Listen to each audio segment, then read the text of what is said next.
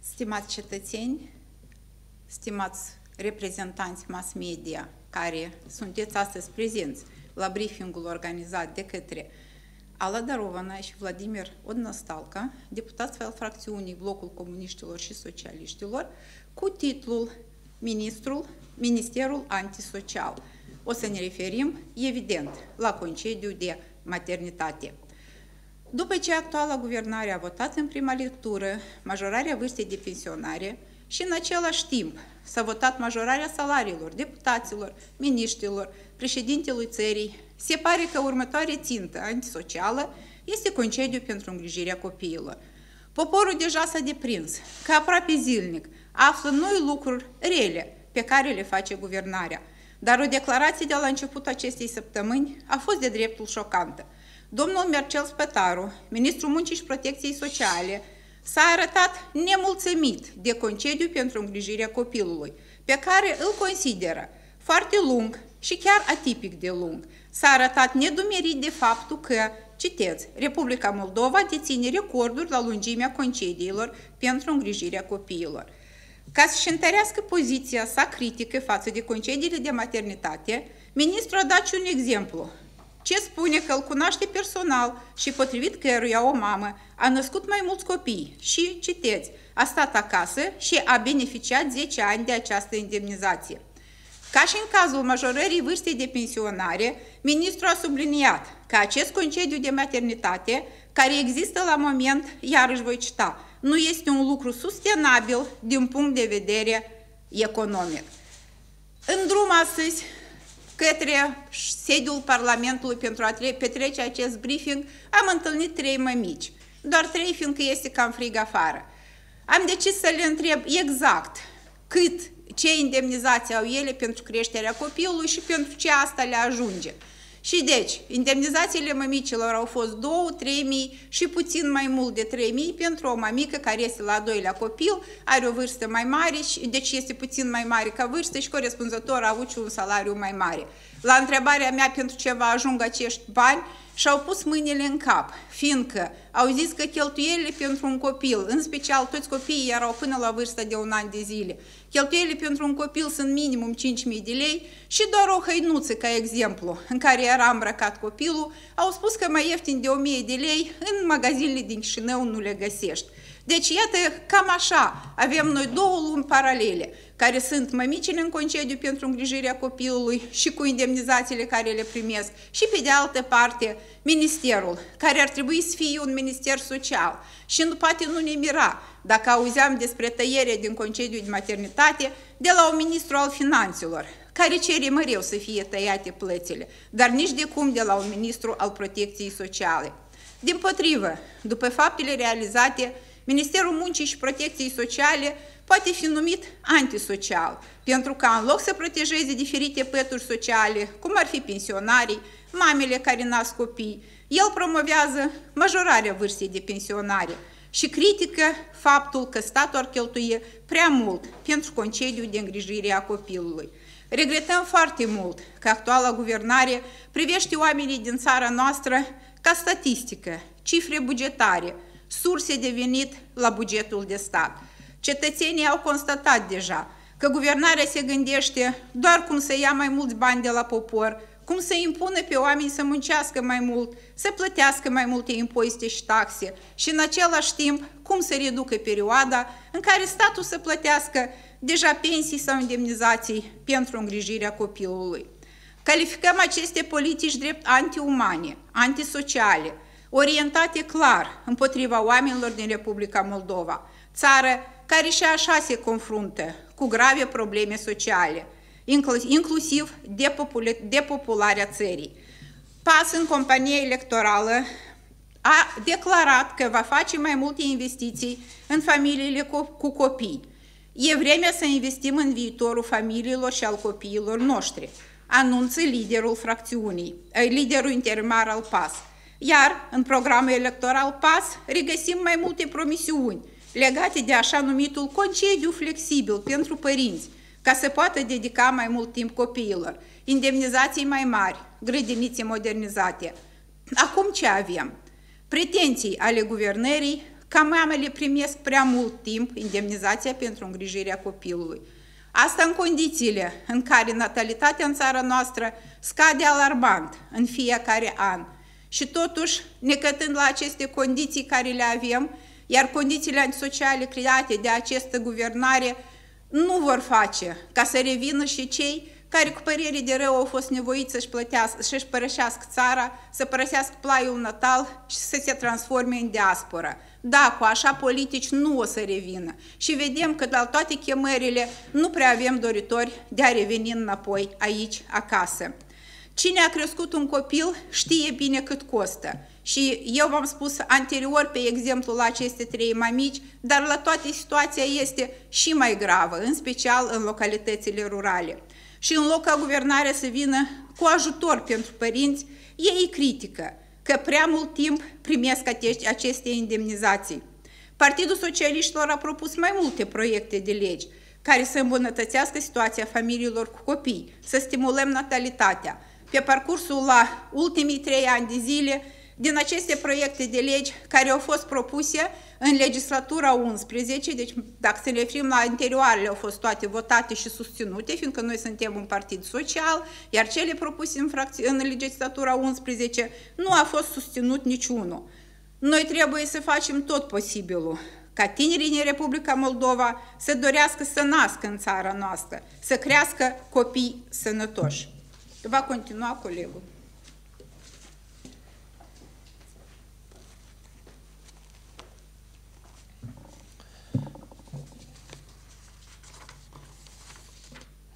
уважаемые представители масс-медиа, уважаемые граждане Республики Молдова. К сожалению, мы уже привыкаем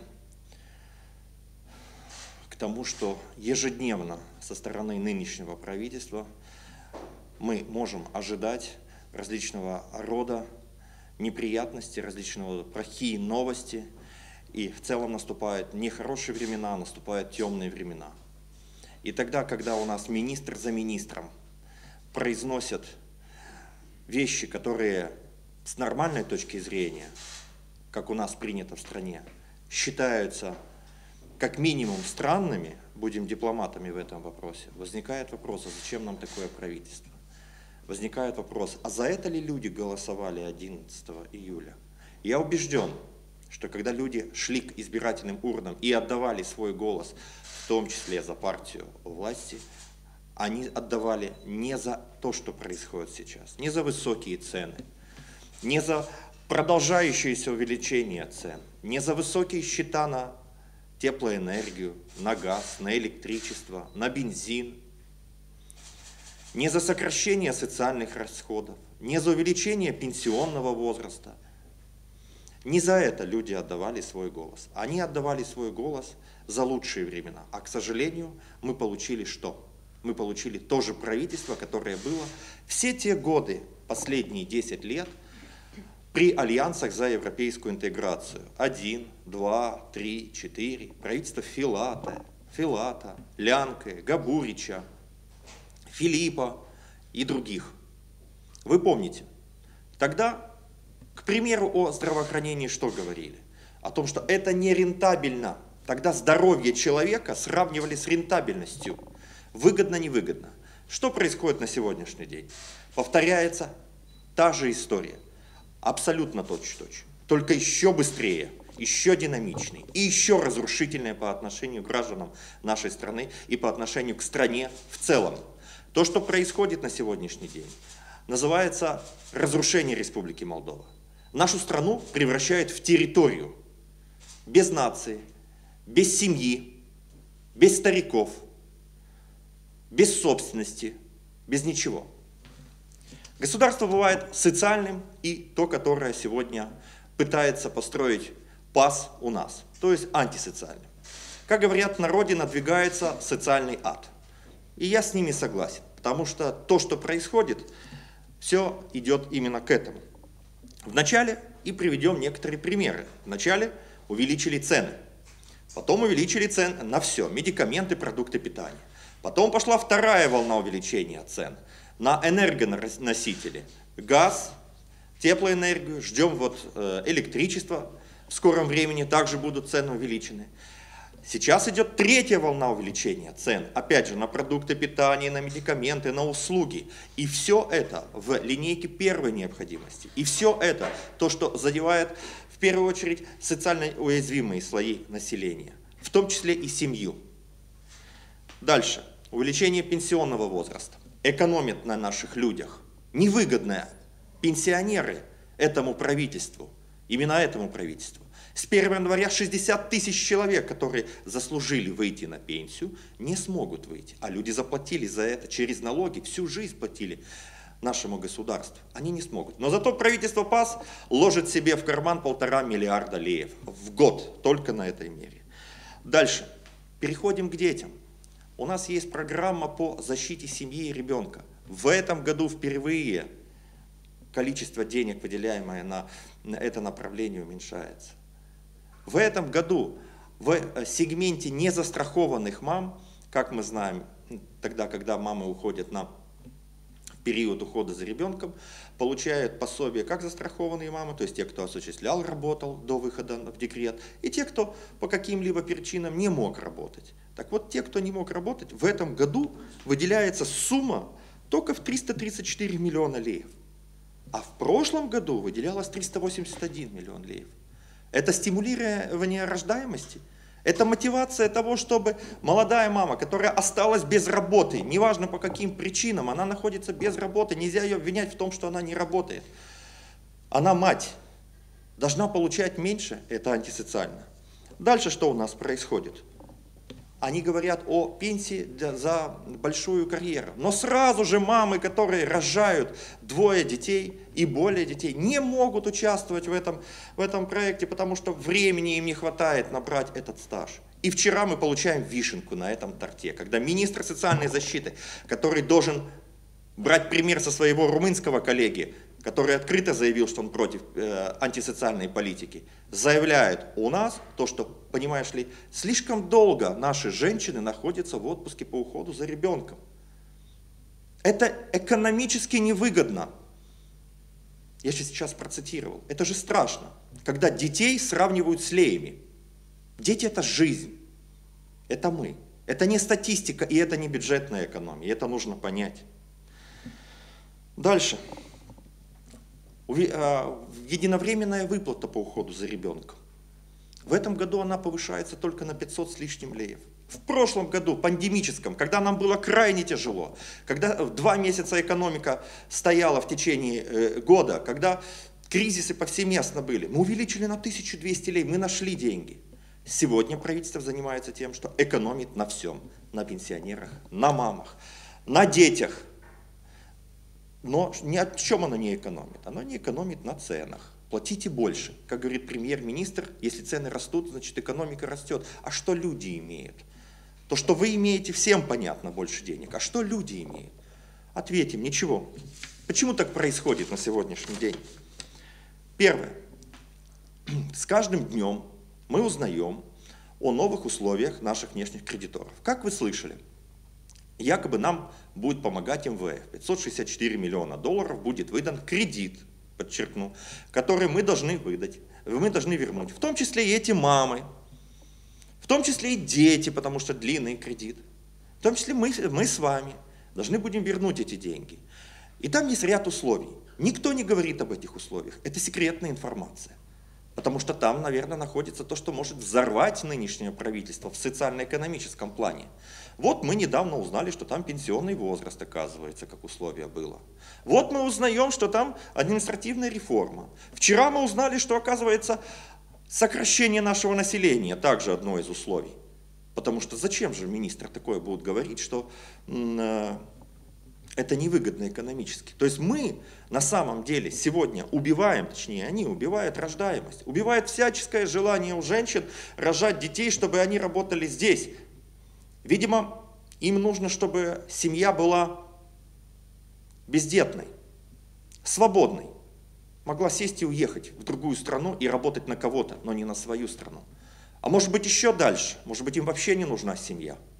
Может быть, поэтому они э, Стамбульскую конвенцию так быстро протолкнули.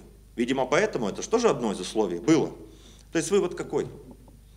Это условия внешних кредиторов. И, уважаемые граждане, когда вам по телевизору говорят о том, что нам помогают Соединенные Штаты, нам помогает Европа, нам помогает не знаю кто еще, нам дают то-то и то-то, не бывает бесплатного сыра в мышеловке. И вы, как никто другой, знаете это прекрасно. За все нужно платить. И платим, к сожалению, мы, граждане Республики Молдова, а не те, кто сегодня сидят в правительстве. Второе. Эту власть ничего не связывает с нашей страной. Абсолютно. Потому как когда человек считает себя принадлежным, принадлежным к этой земле, к этому государству, к нашим людям, жителям Республики Молдова, гражданам Республики Молдова, он так не будет поступать. Эти люди не ассоциируют себя ни со страной Республики Молдова независимой, ни с гражданами Республики Молдова.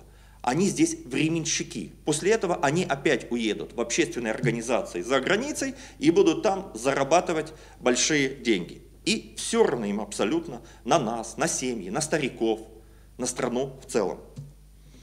Третье.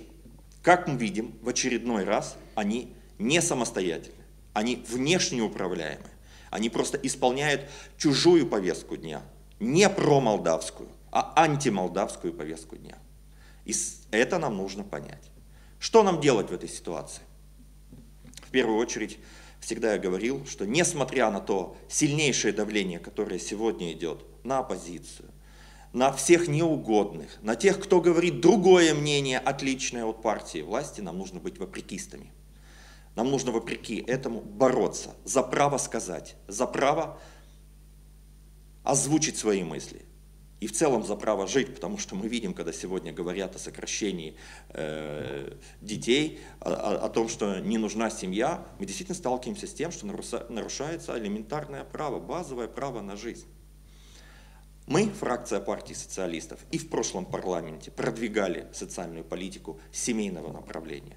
Как вы помните, семейный капитал – это наш проект закона, который мы в хорошем смысле слова лоббировали и продолжаем лоббировать для того, чтобы он был принят. Да, может быть, он не настолько хорош, как для кого-то кажется, но это важный инструмент. Мы увеличивали единовременную выплату по уходу за ребенком, и это факт.